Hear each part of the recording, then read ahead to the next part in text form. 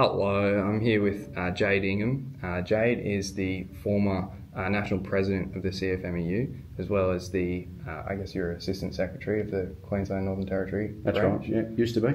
Yeah, not until not long ago, and we'll talk about that in a sec.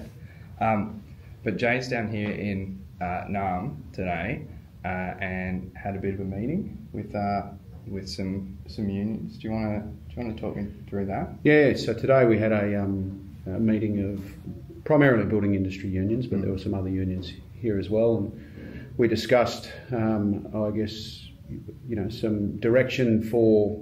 Um, What's next for, for unions like ours and the path forward for industrial unions in this country? Our relationship with the peak body, Yeah.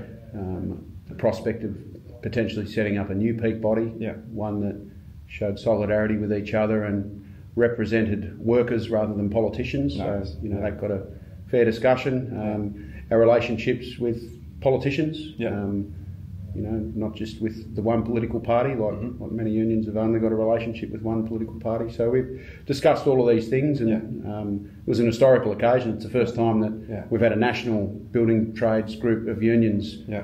um, and it wasn't just building trades, but it was the first time we've had a meeting like this. Uh, Mm. It's exciting.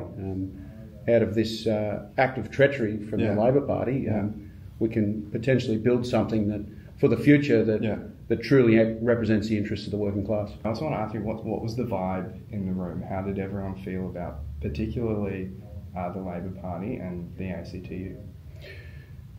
There's a widely held feeling of betrayal, Mhm. um, given that many of us have spent countless hours, Mm. decades, in fact, some Mm. of us, um, fighting to ensure that the party was supposed to represent us Mm. could win government, be in a position to Yeah.